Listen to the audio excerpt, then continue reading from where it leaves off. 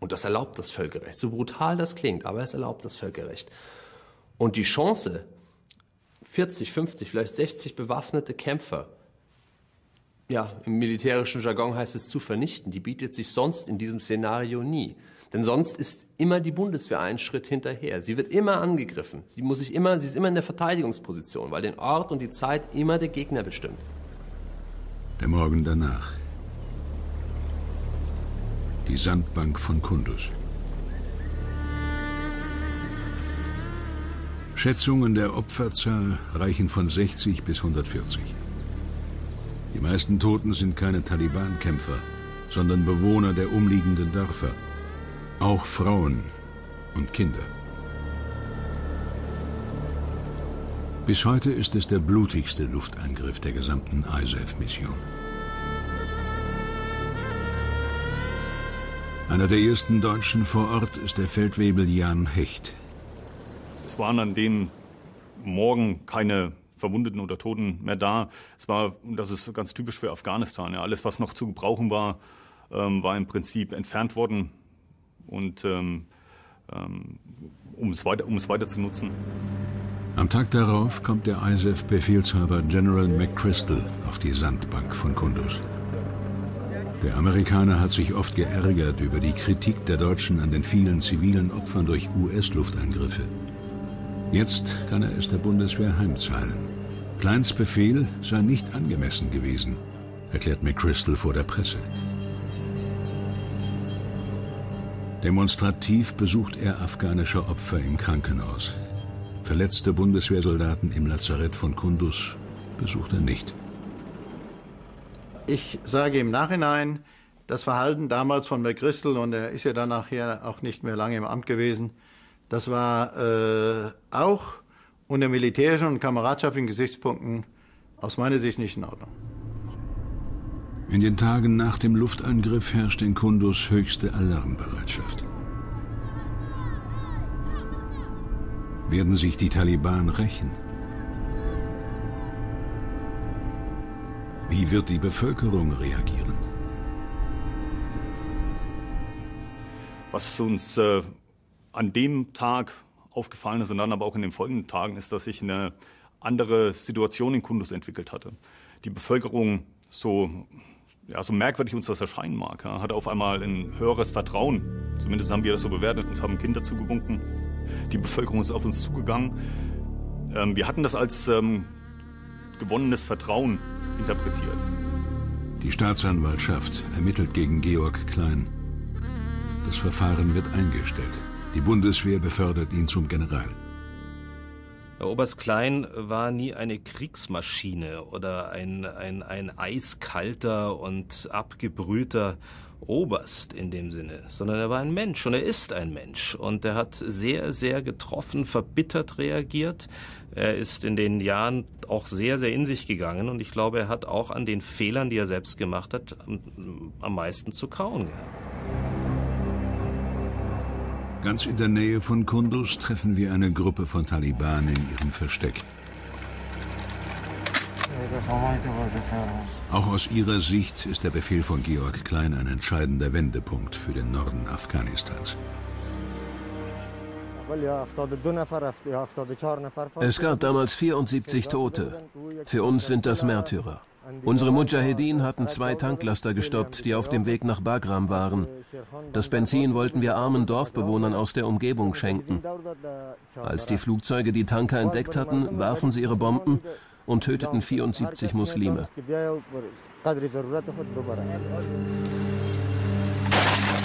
Mit dem Angriff auf die Tanklaster beginnt die schwierigste Zeit für die Bundeswehr in Afghanistan. Die Offensive der Taliban dauert mehr als zwei Jahre. Für die Aufständischen ist sie besonders verlustreich.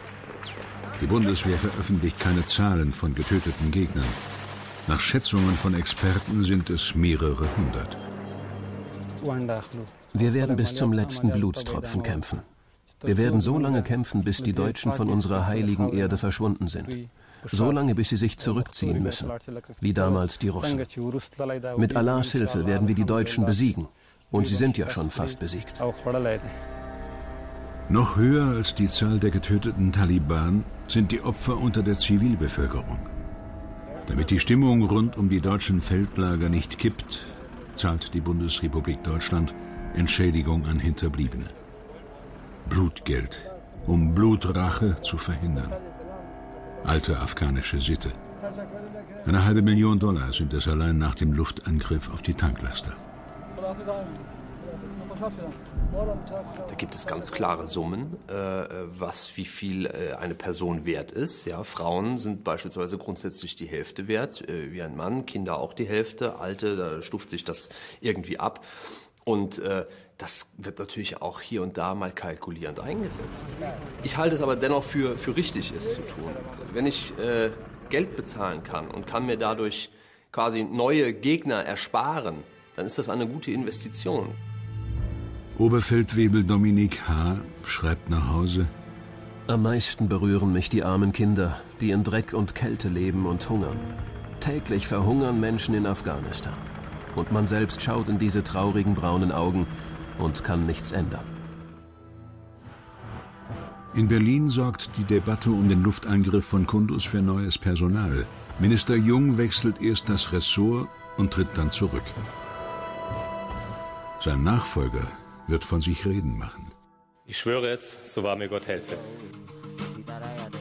Im Verteidigungsministerium scheint frischer Wind einzuziehen. Karl Theodor zu Guttenberg heißt der neue Politstar der Republik. Gemeinsam mit der schönen Gattin setzt sich der neue Minister gern in Szene. Er bricht das bis dahin geltende Tabu und spricht als erster Politiker von Krieg in Afghanistan. Neunmal besucht Guttenberg in anderthalb Jahren Amtszeit die Soldaten am Hindukusch. Er kommt gut an bei der Truppe. Die Kundus-Affäre beendet der Minister nach Gutsherrenart.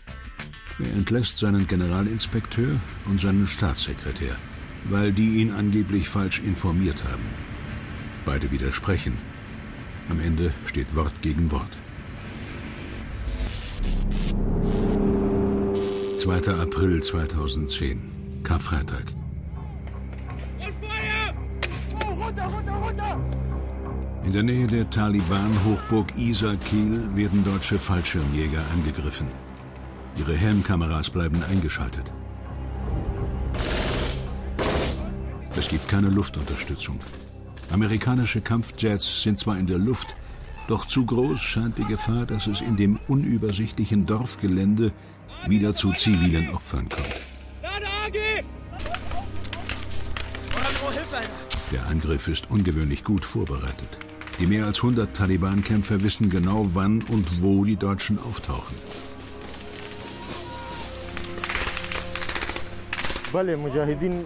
Sie haben überall in Kundus und Umgebung unsere Leute.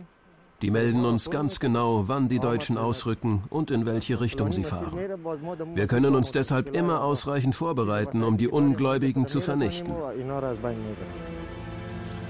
Auch die Taliban filmen den Hinterhalt vom Karfreitag. Propaganda für angebliche Gotteskrieger, die den Tod im Gefecht als direkten Weg ins Paradies betrachten. Nach stundenlangem Kampf sind drei deutsche Soldaten gefallen, acht weitere zum Teil schwer verletzt. Zur gleichen Zeit, nur wenige Kilometer entfernt, in der befestigten Polizeiwache von Chardare kommt es in der nervösen Stimmung dieses Tages zu einem Zwischenfall, der den gesamten deutschen Einsatz in Afghanistan gefährdet. Bundeswehrsoldaten und eine Einheit der afghanischen Nationalarmee sollen hier gemeinsam die Stellung halten. Irgendwann hat diese afghanische Einheit ein Pickup losgeschickt, also hier so ein, so ein Ford Pickup, wo in der Regel vier bis sechs Soldaten hinten drauf sitzen und zwei bis drei Soldaten vorne drin sitzen, um die Verpflegung aus Kundus zu holen. Zeitgleich hat ein Zug der 2. Infanteriekompanie, die mit äh, sogenannten Schützenpanzer Mardern ausgestattet sind, den Weg ins südliche Schadare nehmen wollen. Und irgendwann äh, sind sich diese beiden Fahrzeuge halt begegnet. Dieser Pickup hat sich auf die Schützenpanzer zubewegt und es wurden wohl ähm, sowohl mit Signalpistole als auch mit den Bordwaffen Warnschüsse abgegeben worauf dieser Pickup nicht reagiert haben soll. Und irgendwann kam dieser Pickup so nah dran, dass der Führer vor Ort ein Bedrohungspotenzial erkannte für sich und die Entscheidung getroffen hat, dann Feuer, und zwar wirkendes Feuer auf dieses Fahrzeug äh, abzugeben. Sechs afghanische Soldaten sterben in ihrem Wagen durch die Geschosse des deutschen Panzers. Die Stimmung schlug sehr stark um und sehr schnell um. Und äh, die afghanischen Soldaten haben angefangen, ihre Waffen auf meine Soldaten anzulegen. Das war eine schwierige Situation, eine schwierige Entscheidung, ein schwieriger Rat, den ich geben musste. Und der lautete, dass, oder für mich war klar, ich konnte meinen Soldaten und ich werde meinen Soldaten auch nicht das Recht zur Selbstverteidigung nehmen. Bundeswehr und afghanische Nationalarmee sind eigentlich Verbündete. Doch jetzt wollen die Afghanen Rache nehmen für ihre getöteten Kameraden.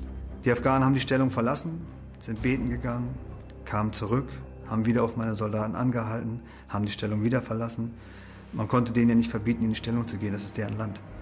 Und somit äh, eskalierte und deeskalierte die Situation innerhalb weniger Stunden ständig.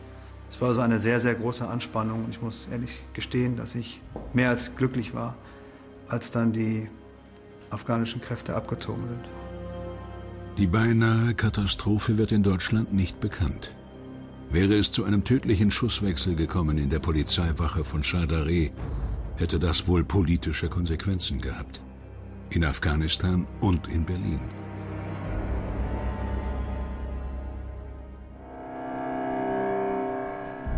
Die Trauerfeier für die drei getöteten Fallschirmjäger vom Karfreitag 2010. Deutschland führt einen Krieg, den die Mehrheit der Bevölkerung ablehnt. Einen Krieg, der Emotionen weckt, Trauer, Mitgefühl und Abscheu vor einem Gegner, der uns fremd ist. Wir sind keine, keine Roboter. Wir sind Soldaten, wir haben eine gewisse Prägung, ähm, aber dennoch sind wir Menschen. Und natürlich macht sich so etwas wie Wunsch nach Vergeltung breit. Das ist, glaube ich, äh, nachvollziehbar. Es kommt aber darauf an, diesem Wunsch nicht unbedingt nachzukommen. Deutsche Soldaten sollen keine Rache üben und sich an die Regeln halten. Sie sollen den Gegner lieber verhaften, als ihn zu töten. Doch angesichts solcher Videos kann das schwer fallen. Die Taliban feiern ihren Sieg vom Karfreitag und jubeln vor zerstörtem deutschen Kriegsgerät. Was löst das aus bei den Soldaten der Bundeswehr? Wenn Sie Kämpfer gegenüberstehen, die nicht als Kämpfer erkennbar sind, die oft, äh, so wird es erlebt, als feige, feige angreifen, die fanatisch sind, die mit Kindern im Arm ins Gefecht gehen. Das hinterlässt Spuren bei den äh, Soldaten. Und äh, ich habe sowas wie, wie Hass gespürt. Da habe ich gedacht, Mann, das ist ja ein Gefühl auf einmal in mir, was mir vorher fremd war. Die Bundeswehr rüstet auf. Hightech-Kanonen für den Kampf gegen die Taliban. Die Panzerhaubitze 2000 kann 40 Kilometer weit schießen. Seit Jahren wünschen sich die Soldaten in Afghanistan schwerere Waffen. Erst nach dem Karfreitag 2010 wird ihr Wunsch erfüllt.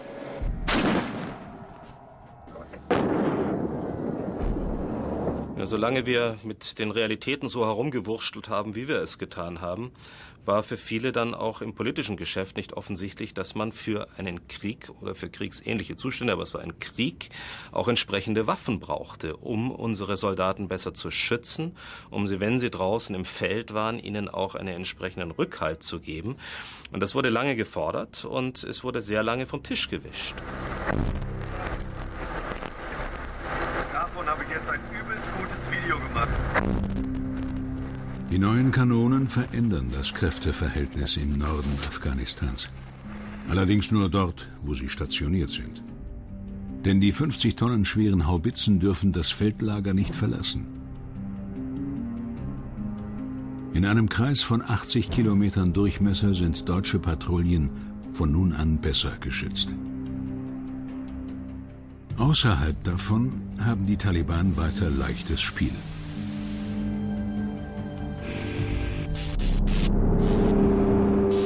Operation Halmasak. Operation Blitz. Höhepunkt der ersten deutschen Offensive seit dem Zweiten Weltkrieg. Johannes Clare und Tim Focken müssen in diesen Herbsttagen erleben, was Krieg in Afghanistan wirklich bedeutet. Beide sind Mitte 20. Ihr Auftrag lautet, Taliban-Dörfer erobern. Ich selbst war, in der, war mit meinem Team in der Situation, dass wir einige Wochen zuvor schon relativ nah an, diesen, äh, an dieses Dorf Quatliam herangekommen sind, ähm, in das bis dahin Monate, vielleicht sogar jahrelang kein deutscher Soldat mehr einen Fuß gesetzt hatte. Und ähm, deswegen waren wir auch wieder ganz an der Spitze. Wir sind praktisch in das Dorf eingerückt, äh, sollten das Dorf dann äh, sichern Mit Helmkameras und Handys filmen die deutschen Soldaten auch diesen Einsatz. Wann wird der Gegner das Feuer eröffnen? Wir wussten, dass wir in Gefechte geraten würden und wir waren auch schon in, einer, in einem Gefühl, in einer Anspannung, dass wir wussten, es werden schwere Gefechte werden, äh, weil wir praktisch in ein Wespennest stechen. Ja, wir waren dann oben auf dem Dach und ähm, ja, da gerieten wir dann auch kurze Zeit später unter Feuer. Und wir erwiderten dies und ähm, es hat sich dann mit der Zeit immer weiter zugespitzt. Dann. Hey! Oh, fuck! Hast du getroffen? Es ist wahnsinnig laut. dass die Waffen sind unglaublich laut. Ohne Gehörschutz äh, hast du sofort einen Tinnitus im Ohr. Ähm, es stinkt natürlich. Es äh, stinkt nach verbranntem Schießpulver. Äh, der Staub ist überall aufgewirbelt. Der Staub wirbelt durch die Gegend. Höher wir nach links. MG. Äh, am, am wohlsten fühlten wir uns, wenn amerikanische Kampfhubschrauber über uns waren. In, den, in der Zeit, in den 45 Minuten äh, oder in der Stunde war es einfach mucksmäuschenstill, weil die Feinde wahnsinnige Angst vor diesen Hubschraubern hatten. Das und das Rufen des Muezzins waren die einzigen Momente, wo es im Prinzip auf dem Schlachtfeld schlagartig ruhig wurde. Und das dann immer nur für eine bestimmte Zeit. Es war sehr, sehr brenzlig. Am zweiten Tag waren wir so stark unter Beschuss, ähm, dass wir alle die wir da waren, in einer Stellung, in einem Graben lagen. Wir lagen in einem trockenen Wassergraben unter freiem Himmel und konnten uns ähm, für ein paar Minuten nur noch alle zusammen auf dem Boden kauern dieser Stellung, weil der Beschuss von allen Seiten so stark in unsere Stellung drang.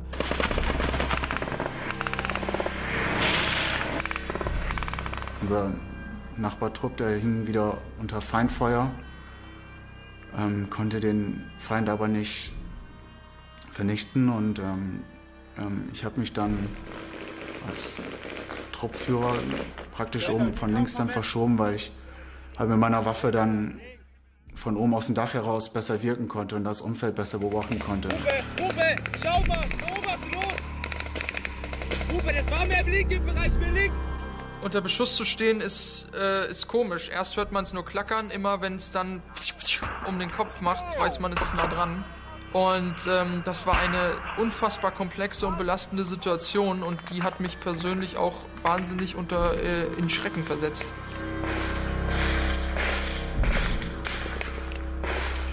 Verging nicht lange, da wollte ich gerade mir einen Überblick verschaffen und dann, ja, dann hat es mich irgendwie erwischt. Dann lag ich irgendwie auf dem Boden mit dem Kopf und äh, realisierte erst gar nicht, was, was auf einmal geschehen ist und wollte irgendwie ausstehen, aber es, es, es ging nicht. Ich, ich lag einfach mit dem Kopf da und ich konnte irgendwie nichts machen.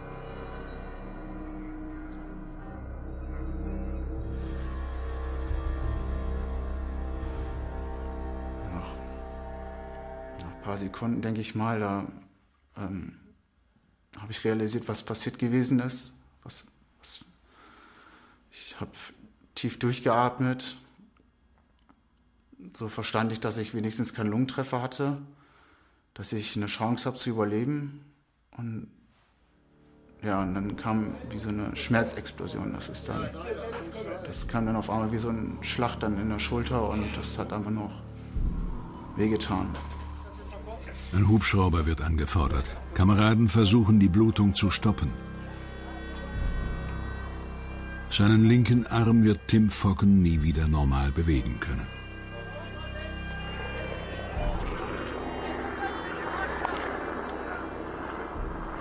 Was wir hier gerade machen, wir stecken in der größten Schafsscheiße ever. Äh, Feind von allen Seiten, ein Verwundeter und wir müssen äh, die Stellung halten, weil wir die Medivacs, die den Verwundeten abholen, sichern müssen. Das passiert hier gerade. Den ersten Landeanflug musste abgebrochen werden, kurz vor Boden, weil das Feindfeuer an Stärke zugenommen hatte zu diesem Zeitpunkt und ähm, noch eine weitere Gefahrenstelle so von, von der Stromleitung, die war da auch noch irgendwie und ähm, dann musste der abbrechen und ist dann so wieder abgeflogen halt. Ähm, ähm ja. Äh, ich, dann, ja, da habe ich gedacht, jetzt ist eh vorbei. Ich habe eigentlich schon irgendwie so ein bisschen abgeschlossen damit gehabt, weil ich auch jetzt nicht genau wusste, was jetzt mit mir ist. Und dann kam auf einmal, ich, ich war in meiner Gedankenwelt eigentlich ganz woanders, bei meiner Frau, bei, mein, bei meinem Kind, bei meiner Familie. Und dann hat mich der Doc da irgendwie rausgerissen aus, aus meiner Welt zu diesem Zeitpunkt. Der zweite Anflug gelingt. Tim Focken kommt ins Lazarett. Die Schlacht um Quatliam endet mit einer Überraschung. Der Gegner ist plötzlich weg.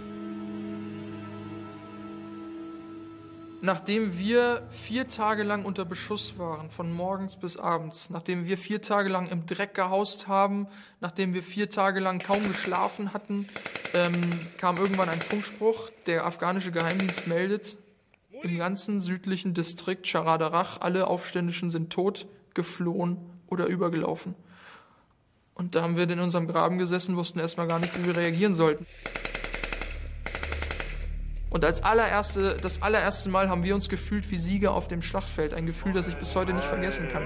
Wir haben uns in unglaublicher Euphorie befunden. Wir standen dort, wussten eigentlich gar nicht so richtig, was wir denken sollten. Aber wir hatten ein Ziel erreicht. Wir hatten etwas erreicht. Und es war tatsächlich so, in den drei Monaten danach konnten wir in all die Dörfer gehen in diesem Distrikt, in die wir vorher monatelang keinen Zugriff hatten, ähm, weil die Aufständischen weg waren. Als wir am sechsten Tag endlich abgelöst worden sind, äh, und das, durch das Dorf zurückgegangen sind zu unseren Fahrzeugen, haben die Menschen am Straßenrand gestanden und haben uns zugejubelt, haben uns zugewinkt. Ich habe sowas noch nicht vorher erlebt. Zwei Monate später in Washington. Tim Focken ist dabei, als der amerikanische Rettungssanitäter Peter Woken geirrt wird. Für seinen Einsatz in jenem Hubschrauber, der Focken das Leben rettet. Man ist unheimlich dankbar. das, ist, das kann man nicht beschreiben. Das ist ich habe so eine Erfahrung ja vorher noch nie so gemacht, dass, dass, aber da, da ging es diesmal um mein Leben und da hat jemand anders sein Leben riskiert, um, um mein Leben zu retten.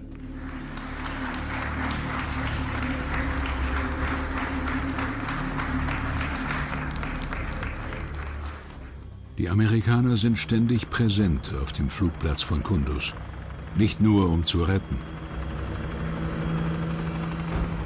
US-Spezialeinheiten machen Jagd auf Taliban, mitten im deutschen Befehlsgebiet. Die Amerikaner kamen mit Hubschraubern ins Gebiet reingeflogen, haben vielleicht ein paar Stunden, manchmal nur eine Stunde vorher durchgefunkt, dass sie jetzt kommen und wir bitte aus dem Weg gehen sollen und das war es dann. Und dann haben sie ihre Operationen durchgeführt. Die nächtlichen Einsätze zielen auf Aufständische, die auf sogenannten Kill-Capture-Listen stehen. Töten oder gefangen nehmen. Auch die Bundeswehr setzt Namen auf diese Liste. Die Special Forces dezimieren die Führung der Taliban, doch oft fallen ihnen auch Unbeteiligte zum Opfer. Der deutsche Hauptmann Bastian K. schreibt nach Hause.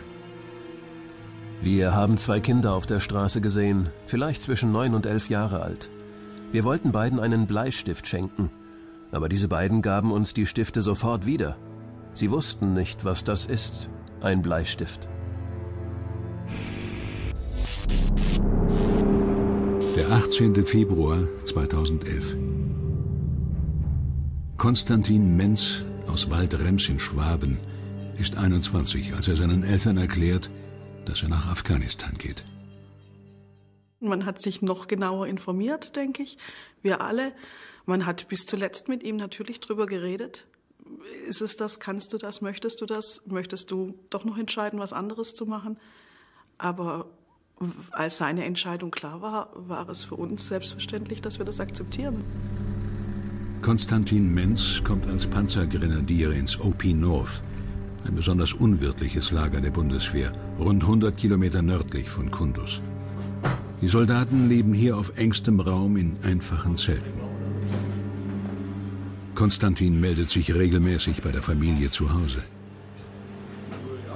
Also ich glaube, er hat relativ ehrlich beschrieben, was war. Aber er hatte nicht das große Problem mit manchen Bedingungen, die andere dort unten hatten. Er hat schon erzählt, dass es sehr einfach ist, wie, wie die Duschen sind, wie weit man hinläuft und dass man eben manchmal nur eine Flasche Wasser zum Duschen hat. Aber ja, aber er hatte, ich hatte das Gefühl, er kommt damit klar.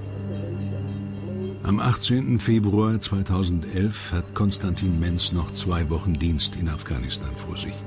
Dann soll er zurück in die Heimat fliegen. Am Vormittag ist Routinedienst befohlen, die Wartung der Marder-Panzer.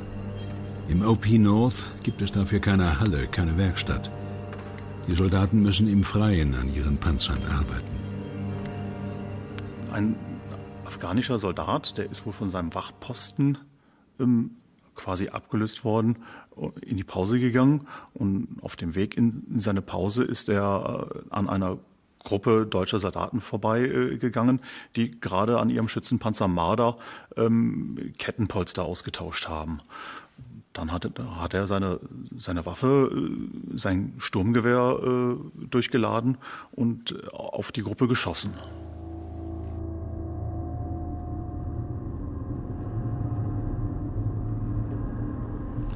Ähm, ich habe erfahren, dass es einen Anschlag gab aus dem Radio im Auto. Habe aber dann gehört, es ist ein 30-Jähriger gefallen und dann atmet man erstmal auf und denkt, na gut, alles gut gegangen. Und war dann zu Hause und eine Stunde später oder so klingelte es dann an der Tür und ja, dann war es klar. Ein Offizier und ein Seelsorger überbringen die Nachricht. Man weiß es sofort. Also man glaubt es doch. Also bei mir war es zumindest so. War, also sie mussten gar nicht mehr viel sagen. Ich wusste sofort, warum die da sind.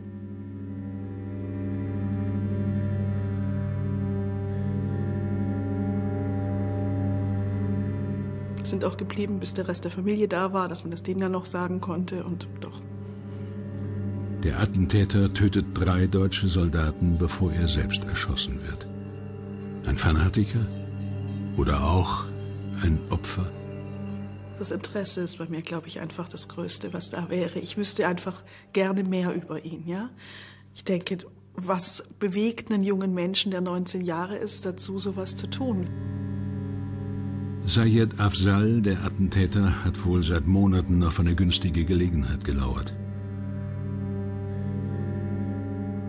Ich denke, er war einfach, es war Pech, Zufall. Frage bringt er nicht weiter, die braucht man sich nicht stellen.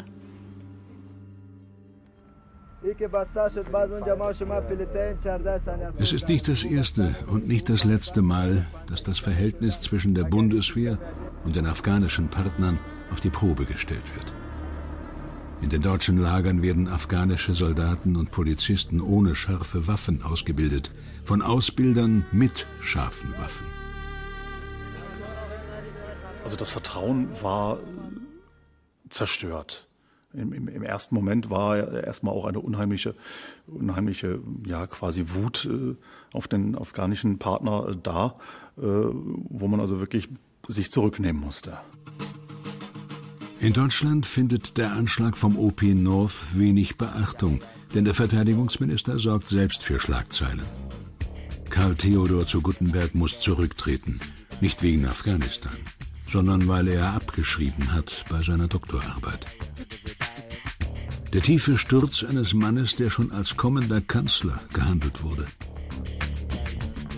In der Bundeswehr bedauern viele den Rücktritt des forschen Freiherrn. Sein Nachfolger wird Thomas de Maizière, der Sohn des ehemaligen Wehrmachtsoffiziers und späteren Generals der Bundeswehr Ulrich de Maizière.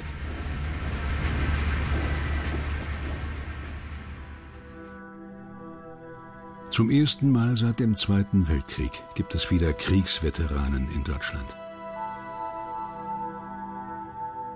Tausende sind für immer gezeichnet, verletzt an Leib und Seele.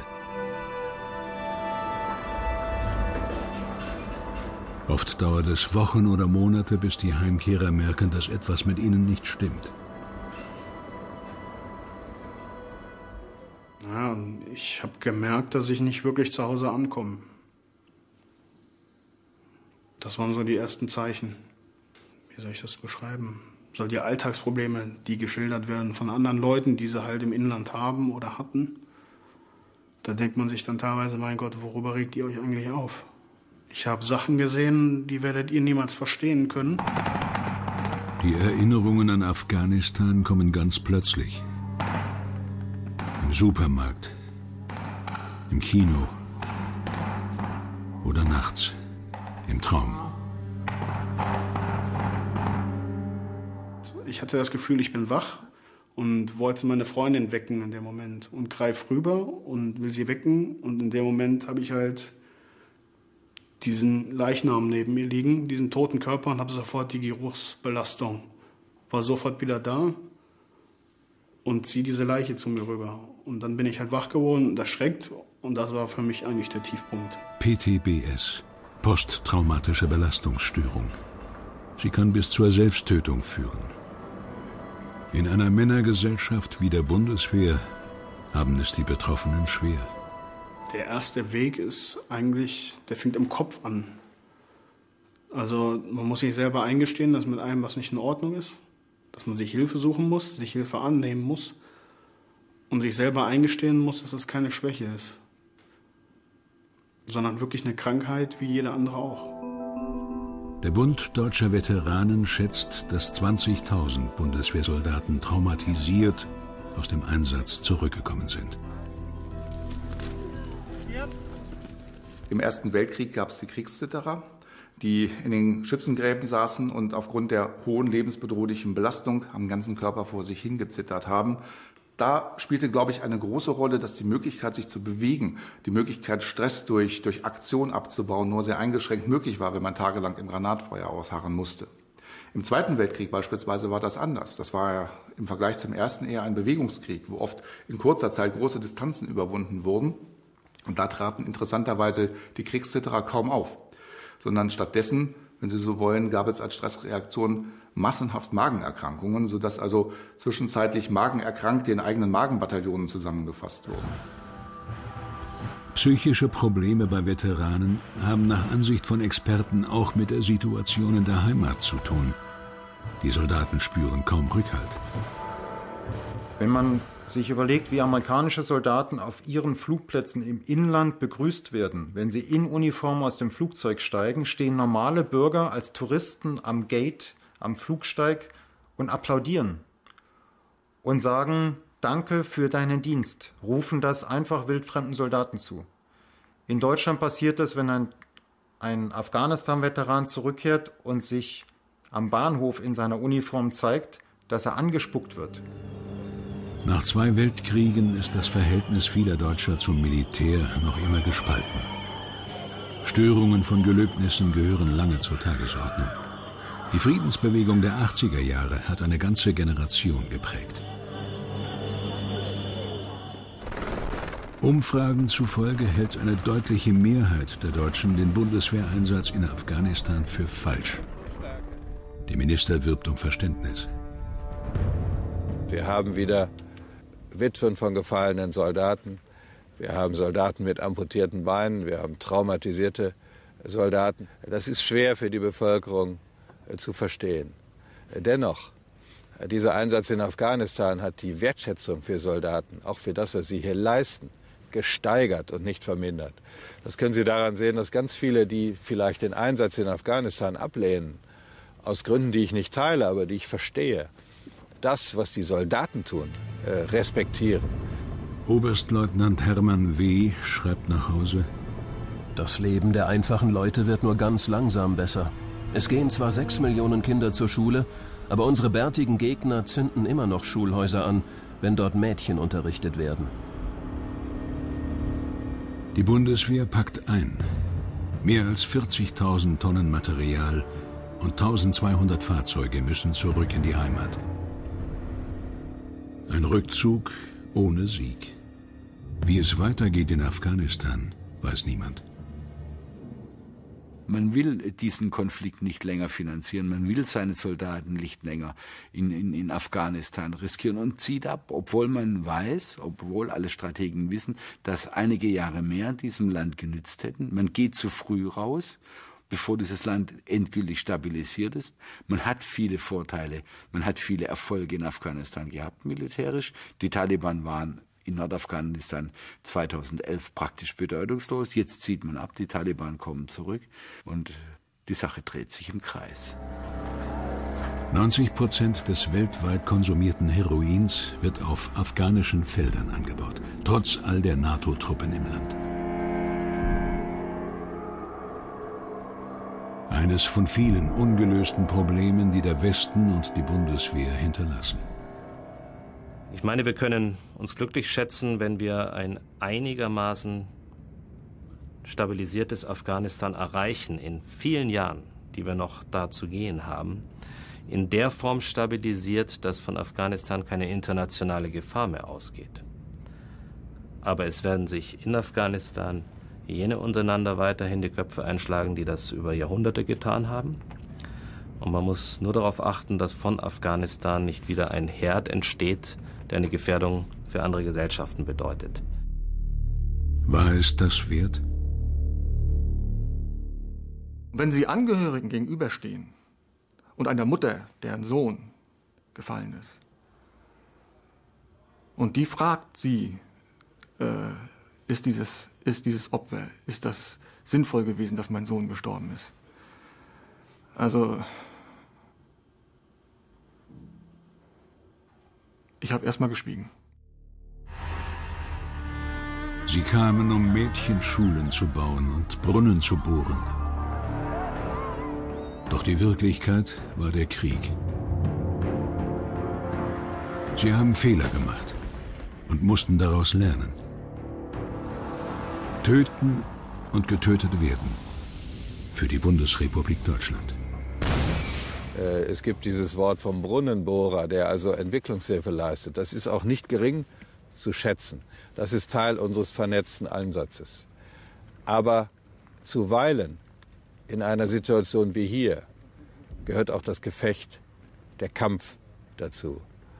Oder um es so ernst zu sagen, wie es nur irgend geht, das Töten und das Sterben. Äh, und das musste die Bundeswehr hier lernen. Äh, das hat ihr international Respekt verschafft. Das hat uns an Gräber von gefallenen Soldaten geführt. Äh, das hat den Einsatz mitten in die deutschen Wohnzimmer gebracht. 54 deutsche Soldaten sind bislang gestorben am Hindukusch. Ob der Einsatz sinnvoll war, wird die Zukunft zeigen. Die Zukunft von Afghanistan.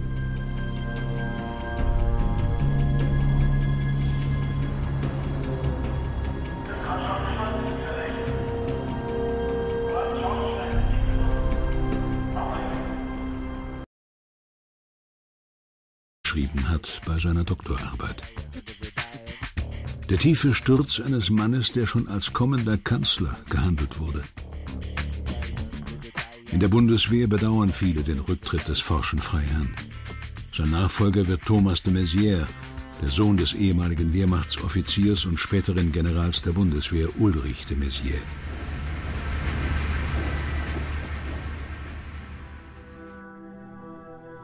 Zum ersten Mal seit dem Zweiten Weltkrieg gibt es wieder Kriegsveteranen in Deutschland.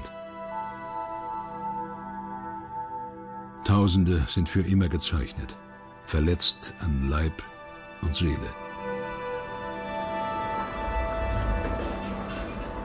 Oft dauert es Wochen oder Monate, bis die Heimkehrer merken, dass etwas mit ihnen nicht stimmt. Ich habe gemerkt, dass ich nicht wirklich zu Hause ankomme. Das waren so die ersten Zeichen. Wie soll ich das beschreiben? So die Alltagsprobleme, die geschildert werden von anderen Leuten, die sie halt im Inland haben oder hatten. Da denkt man sich dann teilweise, mein Gott, worüber regt ihr euch eigentlich auf? Ich habe Sachen gesehen, die werdet ihr niemals verstehen können. Die Erinnerungen an Afghanistan kommen ganz plötzlich. Im Supermarkt, im Kino oder nachts im Traum. Ich hatte das Gefühl, ich bin wach und wollte meine Freundin wecken in dem Moment und greif rüber und will sie wecken und in dem Moment habe ich halt diesen Leichnam neben mir liegen, diesen toten Körper und habe sofort die Geruchsbelastung. War sofort wieder da und ziehe diese Leiche zu mir rüber. Und dann bin ich halt wach geworden und erschreckt und das war für mich eigentlich der Tiefpunkt. PTBS, posttraumatische Belastungsstörung. Sie kann bis zur Selbsttötung führen. In einer Männergesellschaft wie der Bundeswehr haben es die Betroffenen schwer. Der erste Weg ist eigentlich, der fängt im Kopf an. Also man muss sich selber eingestehen, dass mit einem was nicht in Ordnung ist, dass man sich Hilfe suchen muss, sich Hilfe annehmen muss und sich selber eingestehen muss, dass es keine Schwäche ist, sondern wirklich eine Krankheit wie jeder andere auch. Der Bund deutscher Veteranen schätzt, dass 20.000 Bundeswehrsoldaten traumatisiert aus dem Einsatz zurückgekommen sind. Im Ersten Weltkrieg gab es die Kriegszitterer, die in den Schützengräben saßen und aufgrund der hohen lebensbedrohlichen Belastung am ganzen Körper vor sich hingezittert haben. Da spielte, glaube ich, eine große Rolle, dass die Möglichkeit, sich zu bewegen, die Möglichkeit, Stress durch, durch Aktion abzubauen. Für sich und die Entscheidung getroffen hat, dann Feuer, und zwar wirkendes Feuer auf dieses Fahrzeug äh, abzugeben. Sechs afghanische Soldaten sterben in ihrem Wagen durch die Geschosse des deutschen Panzers.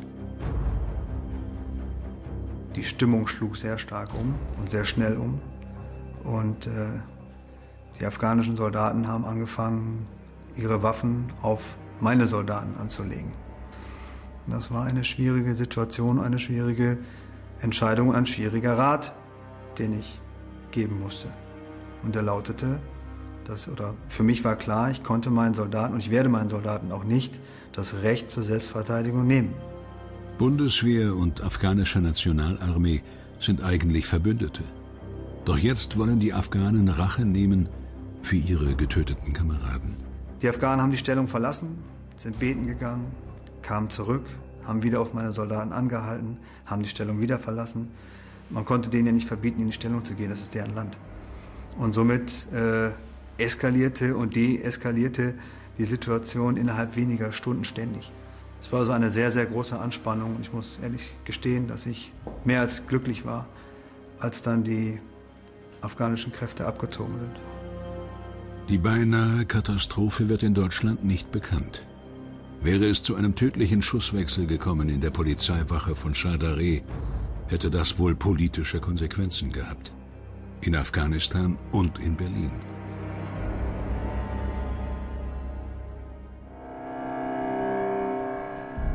Die Trauerfeier für die drei getöteten Fallschirmjäger vom Karfreitag 2010. Deutschland führt einen Krieg, den die Mehrheit der Bevölkerung ablehnt.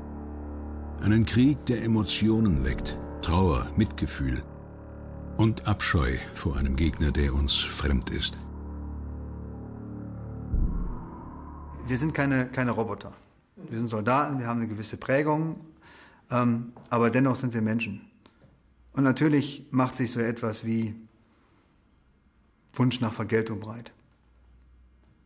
Das ist, glaube ich, äh, nachvollziehbar. Es kommt aber darauf an, diesem Wunsch nicht unbedingt nachzukommen. Deutsche Soldaten sollen keine Rache üben und sich an die Regeln halten. Sie sollen den Gegner lieber verhaften, als ihn zu töten. Doch angesichts solcher Videos kann das schwer fallen. Die Taliban feiern ihren Sieg vom Karfreitag und jubeln vor zerstörtem deutschen Kriegsgerät. Was löst das aus bei den Soldaten der Bundeswehr? Ich wusste sofort, warum die da sind.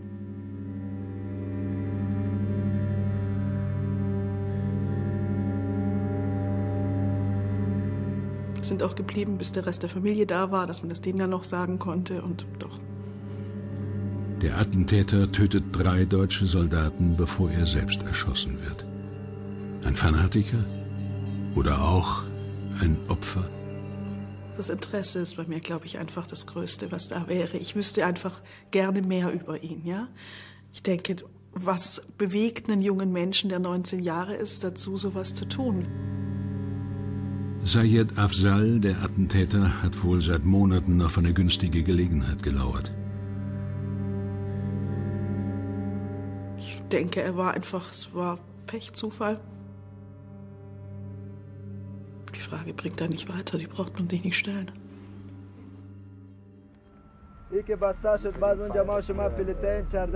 Es ist nicht das erste und nicht das letzte Mal, dass das Verhältnis zwischen der Bundeswehr und den afghanischen Partnern auf die Probe gestellt wird.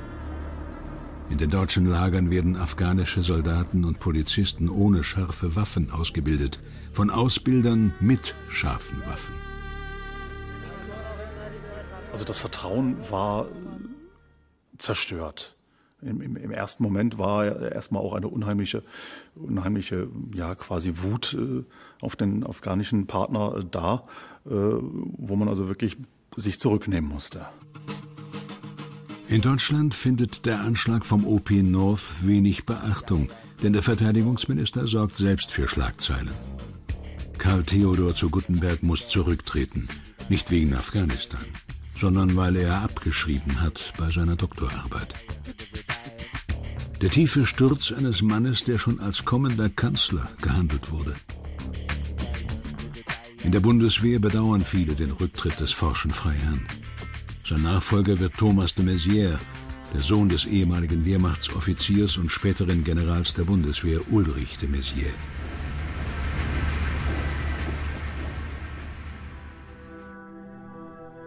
Zum ersten Mal seit dem Zweiten Weltkrieg gibt es wieder Kriegsveteranen in Deutschland.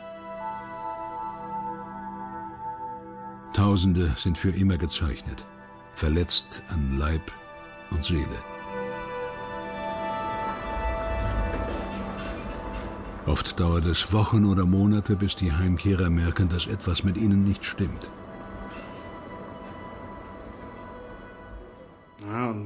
Habe gemerkt, dass ich nicht wirklich zu Hause ankomme. Das waren so die ersten Zeichen. Wie soll ich das beschreiben? Soll die die Stimmung schlug sehr stark um und sehr schnell um. Und äh, die afghanischen Soldaten haben angefangen, ihre Waffen auf meine Soldaten anzulegen. Das war eine schwierige Situation, eine schwierige Entscheidung, ein schwieriger Rat, den ich geben musste. Und der lautete, dass, oder für mich war klar, ich konnte meinen Soldaten und ich werde meinen Soldaten auch nicht das Recht zur Selbstverteidigung nehmen. Bundeswehr und afghanische Nationalarmee sind eigentlich Verbündete. Doch jetzt wollen die Afghanen Rache nehmen für ihre getöteten Kameraden. Die Afghanen haben die Stellung verlassen, sind beten gegangen, kamen zurück, haben wieder auf meine Soldaten angehalten, haben die Stellung wieder verlassen. Man konnte denen ja nicht verbieten, in die Stellung zu gehen, das ist deren Land. Und somit äh, eskalierte und deeskalierte die Situation innerhalb weniger Stunden ständig. Es war also eine sehr, sehr große Anspannung und ich muss ehrlich gestehen, dass ich mehr als glücklich war, als dann die afghanischen Kräfte abgezogen sind. Die beinahe Katastrophe wird in Deutschland nicht bekannt. Wäre es zu einem tödlichen Schusswechsel gekommen in der Polizeiwache von Shadare, hätte das wohl politische Konsequenzen gehabt. In Afghanistan und in Berlin.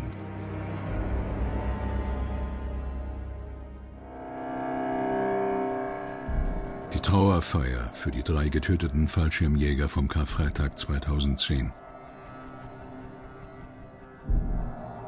Deutschland führt einen Krieg, den die Mehrheit der Bevölkerung ablehnt. Einen Krieg, der Emotionen weckt, Trauer, Mitgefühl Und Abscheu vor einem Gegner, der uns fremd ist. Wir sind keine, keine Roboter. Wir sind Soldaten, wir haben eine gewisse Prägung, ähm, aber dennoch sind wir Menschen. Und natürlich macht sich so etwas wie Wunsch nach Vergeltung breit. Das ist, glaube ich, äh, nachvollziehbar. Es kommt aber darauf an, diesem Wunsch nicht unbedingt nachzukommen. Deutsche Soldaten sollen keine Rache üben und sich an die Regeln halten. Sie sollen den Gegner lieber verhaften, als ihn zu töten. Doch angesichts solcher Videos kann das schwer fallen. Die Taliban feiern ihren Sieg vom Karfreitag und jubeln vor zerstörtem deutschen Kriegsgerät. Was löst das aus bei den Soldaten der Bundeswehr? Wenn sie Kämpfer gegenüberstehen, die nicht als Kämpfer erkennbar sind, die oft, äh, so wird das erlebt, als feige, feige angreifen, die fanatisch sind, die mit Kindern im Arm ins Gefecht gehen? Das der erste Weg ist eigentlich, der fängt im Kopf an. Also man muss sich selber eingestehen, dass mit einem was nicht in Ordnung ist, dass man sich Hilfe suchen muss, sich Hilfe annehmen muss und sich selber eingestehen muss, dass das keine Schwäche ist, sondern wirklich eine Krankheit wie jeder andere auch. Der Bund deutscher Veteranen schätzt, dass 20.000 Bundeswehrsoldaten traumatisiert aus dem Einsatz zurückgekommen sind. Im Ersten Weltkrieg gab es die Kriegszitterer, die in den Schützengräben saßen und aufgrund der hohen lebensbedrohlichen Belastung am ganzen Körper vor sich hingezittert haben da spielte, glaube ich, eine große Rolle, dass die Möglichkeit, sich zu bewegen, die Möglichkeit, Stress durch, durch Aktion abzubauen, nur sehr eingeschränkt möglich war, wenn man tagelang im Granatfeuer ausharren musste. Im Zweiten Weltkrieg beispielsweise war das anders. Das war ja im Vergleich zum Ersten eher ein Bewegungskrieg, wo oft in kurzer Zeit große Distanzen überwunden wurden. Und da traten interessanterweise die Kriegszitterer kaum auf, sondern stattdessen, wenn Sie so wollen, gab es als Stressreaktion massenhaft Magenerkrankungen, sodass also zwischenzeitlich Magenerkrankte in eigenen Magenbataillonen zusammengefasst wurden. Psychische Probleme bei Veteranen haben nach Ansicht von Experten auch mit der Situation in der Heimat zu tun. Die Soldaten spüren kaum Rückhalt. Wenn man sich überlegt, wie amerikanische Soldaten auf ihren Flugplätzen im Inland begrüßt werden, wenn sie in Uniform aus dem Flugzeug steigen, stehen normale Bürger als Touristen am Gate am Flugsteig und applaudieren und sagen Danke für deinen Dienst, rufen das einfach wildfremden Soldaten zu. In Deutschland passiert das, wenn ein, ein Afghanistan-Veteran zurückkehrt und sich am Bahnhof in seiner Uniform zeigt, dass er angespuckt wird. Nach zwei Weltkriegen ist das Verhältnis vieler Deutscher zum Militär noch immer gespalten. Störungen von Gelöbnissen gehören lange zur Tagesordnung. Die Friedensbewegung der 80er Jahre hat eine ganze Generation geprägt. Umfragen zufolge hält eine deutliche Mehrheit der Deutschen den Bundeswehreinsatz in Afghanistan für falsch. Der Minister wirbt um Verständnis. Wir haben wieder Witwen von gefallenen Soldaten. Wir haben Soldaten mit amputierten Beinen. Wir haben traumatisierte Soldaten. Das ist schwer für die Bevölkerung zu verstehen. Dennoch, äh, dieser Einsatz in Afghanistan hat die Wertschätzung für Soldaten, auch für das, was sie hier leisten, gesteigert und nicht vermindert. Das können Sie daran sehen, dass ganz viele, die vielleicht den Einsatz in Afghanistan ablehnen, aus Gründen, die ich nicht teile, aber die ich verstehe, das, was die Soldaten tun, äh, respektieren. Oberstleutnant Hermann W. Wir werden bis zum letzten Blutstropfen kämpfen. Wir werden so lange kämpfen, bis die Deutschen von unserer heiligen Erde verschwunden sind. So lange, bis sie sich zurückziehen müssen, wie damals die Russen. Mit Allahs Hilfe werden wir die Deutschen besiegen. Und sie sind ja schon fast besiegt. Noch höher als die Zahl der getöteten Taliban sind die Opfer unter der Zivilbevölkerung. Damit die Stimmung rund um die deutschen Feldlager nicht kippt, zahlt die Bundesrepublik Deutschland Entschädigung an Hinterbliebene. Blutgeld, um Blutrache zu verhindern. Alte afghanische Sitte. Eine halbe Million Dollar sind es allein nach dem Luftangriff auf die Tanklaster. Da gibt es ganz klare Summen, äh, was wie viel äh, eine Person wert ist. Ja, Frauen sind beispielsweise grundsätzlich die Hälfte wert, äh, wie ein Mann, Kinder auch die Hälfte, Alte, da stuft sich das irgendwie ab. Und äh, das wird natürlich auch hier und da mal kalkulierend eingesetzt. Ich halte es aber dennoch für, für richtig, es zu tun. Wenn ich äh, Geld bezahlen kann und kann mir dadurch quasi neue Gegner ersparen, dann ist das eine gute Investition. Oberfeldwebel Dominik H. schreibt nach Hause. Am meisten berühren mich die armen Kinder, die in Dreck und Kälte leben und hungern. Täglich verhungern Menschen in Afghanistan. Und man selbst schaut in diese traurigen braunen Augen und kann nichts ändern. In Berlin sorgt die Debatte um den Luftangriff von Kundus für neues Personal. Minister Jung wechselt erst das Ressort und tritt dann zurück. Sein Nachfolger wird von sich reden machen. Ich schwöre es, so wahr mir Gott helfe. Im Verteidigungsministerium scheint frischer Wind einzuziehen. Karl Theodor zu Guttenberg heißt der neue Politstar der Republik. Gemeinsam mit der schönen Gattin setzt sich der neue Minister gern in Szene. Er bricht das bis dahin geltende Tabu und spricht als erster Politiker von Krieg in Afghanistan. Neunmal besucht Gutenberg in anderthalb Jahren Amtszeit die Soldaten am Hindukusch. Er kommt gut an bei der Truppe. Die Kundus-Affäre beendet der Minister nach Gutsherrenart. Er entlässt seinen Generalinspekteur und seinen Staatssekretär, weil die ihn angeblich falsch informiert haben. Beide widersprechen. Am Ende steht Wort gegen Wort. 2. April 2010, Karfreitag.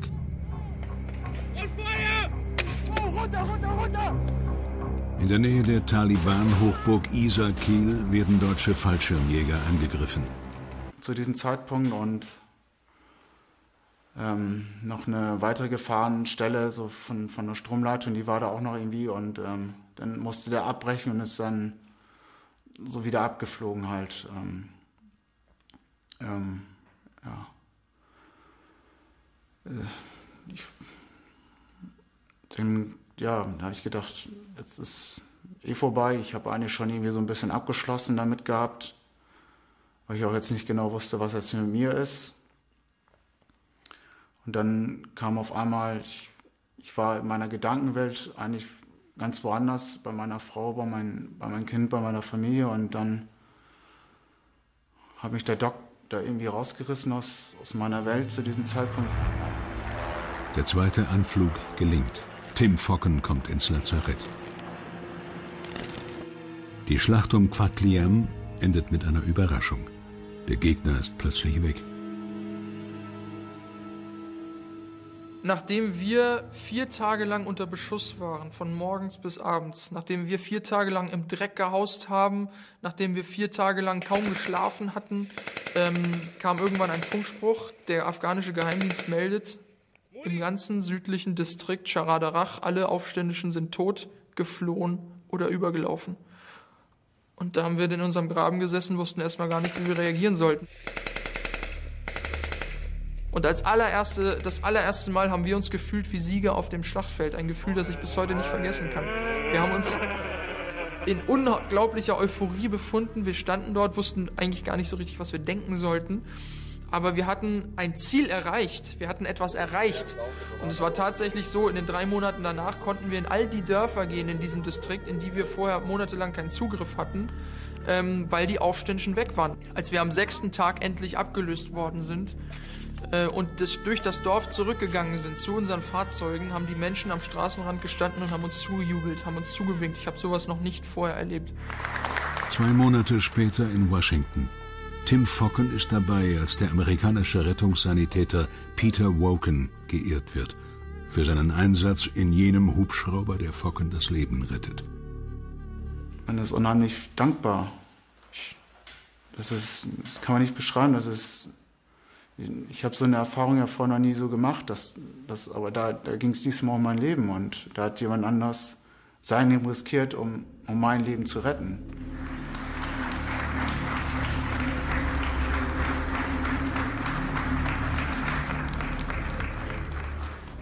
Die Amerikaner sind ständig präsent auf dem Flugplatz von Kunduz.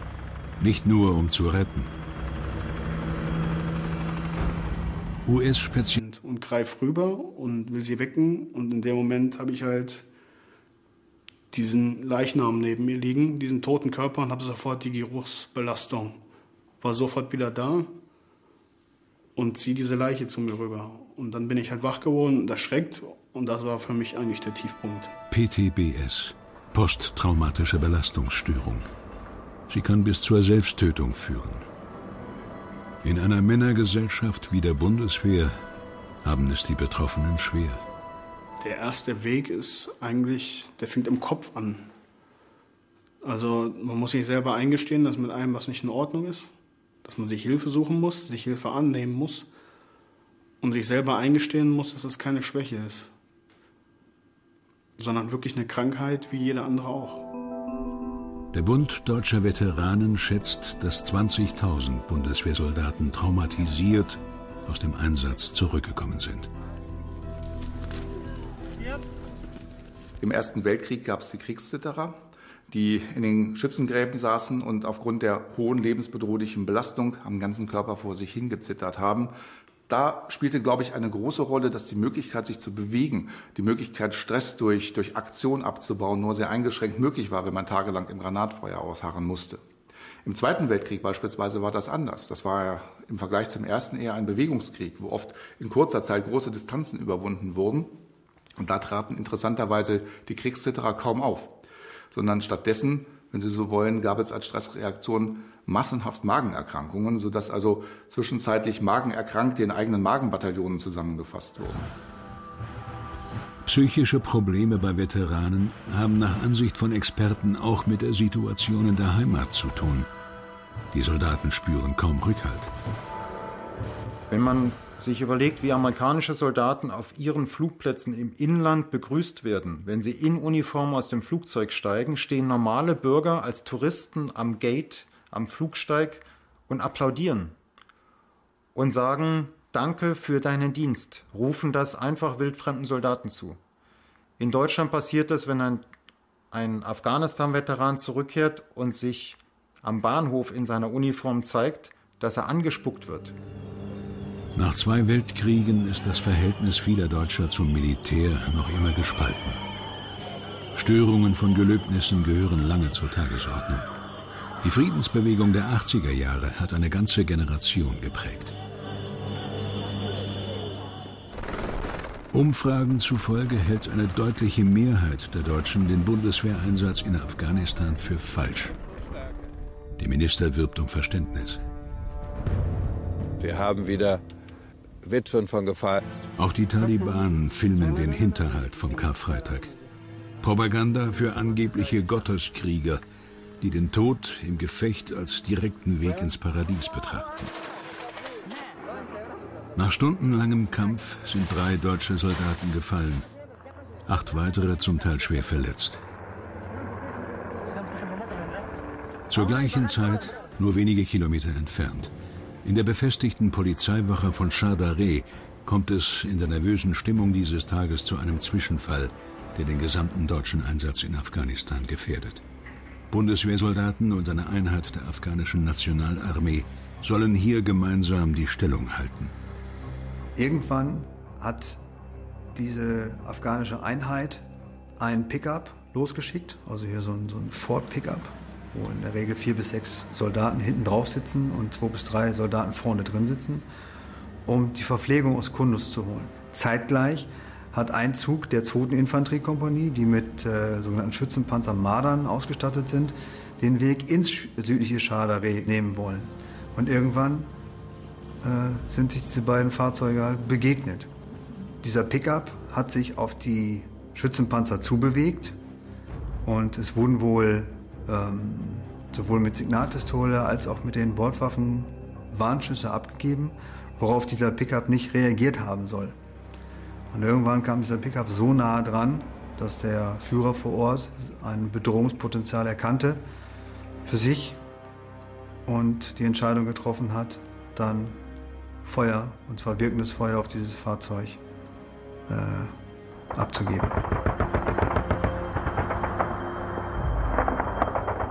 Sechs afghanische Soldaten sterben in ihrem Wagen durch die Geschosse des deutschen Panzers.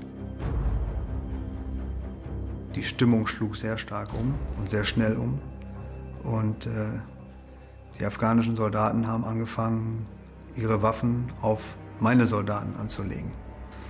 Das war eine schwierige Situation, eine schwierige Entscheidung, ein schwieriger Rat, den ich geben musste.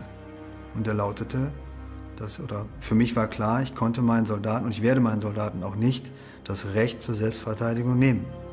Bundeswehr und afghanische Nationalarmee sind eigentlich Verbündete. Doch jetzt wollen die Afghanen Rache nehmen für ihre getöteten Kameraden.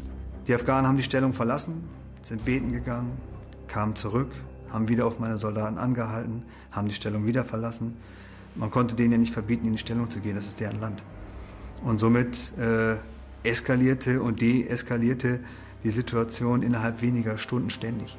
Es war also eine sehr, sehr große Anspannung und ich muss ehrlich gestehen, dass ich